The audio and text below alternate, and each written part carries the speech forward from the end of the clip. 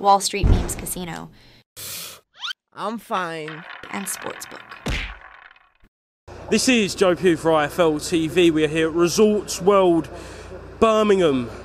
The man has come, the man has conquered, he's gone into enemy territory, and he's just defeated Matchroom. How do you feel, Ben Shalom?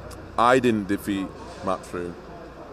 Tyler Denny defeated Felix Cash in emphatic style. What a man. Proud, proud of him. So confident before. He was sending me a text before saying I can't wait for the picture with the belt and, and, and, and things like that. With you know, he was that confident, go into the changing room so relaxed, but he's confident for a reason because he's worked hard and he's an inspiration to every professional boxer in this country. And he just gets better and better and better. And now to go with the heart and the grit and the determination, he's a fabulously technically gifted fighter that is fine-tuned his craft.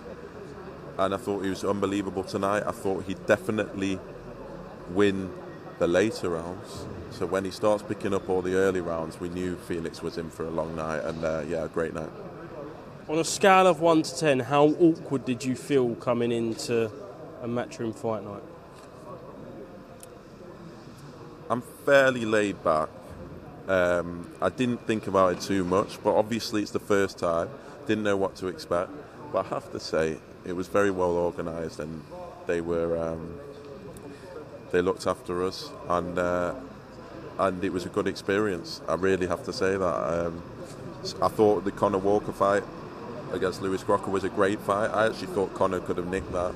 We've had it on one of our shows before, so gutted for him. But great show, great fights, and uh, a fantastic main event for Tyler Denny. And um, yeah, I'm over the moon. Were you always going to come? Because look, throughout the week, I spoke to Frank. He said all you need to do is ask for a ticket. I'm assuming you did ask for the ticket, but you was always going to come, weren't you? I was always going to be there for Tyler, without a doubt. And um, it didn't matter where it was. So to be treated like this was great.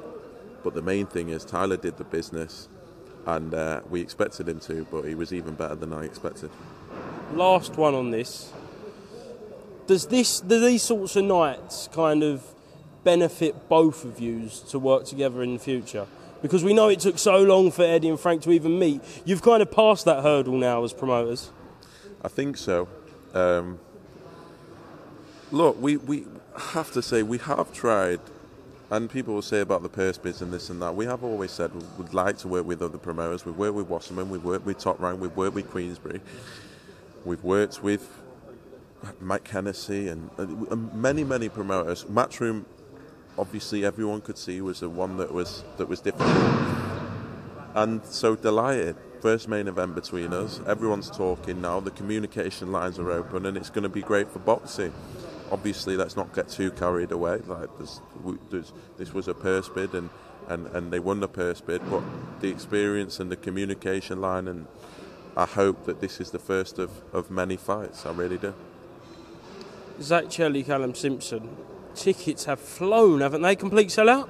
Ridiculous. Yeah, we've got Callum Simpson for me, is the next one in British boxing. He's a ticket machine. It, I used to hear stories about Josh Warrington going to, into the pubs, going in with the ticket, selling his own tickets, getting himself to 400, 500, and then you saw what a machine he became.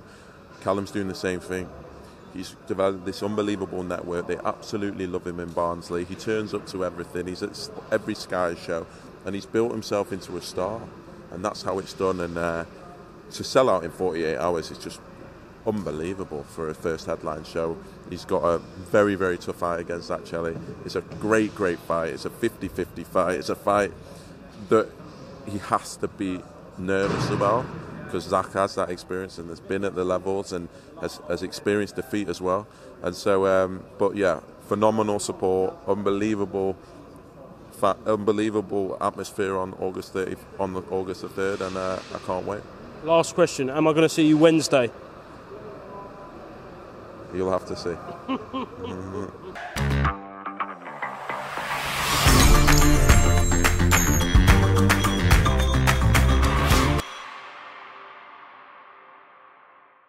Wall Street Memes Casino, I'm fine. and Sportsbook.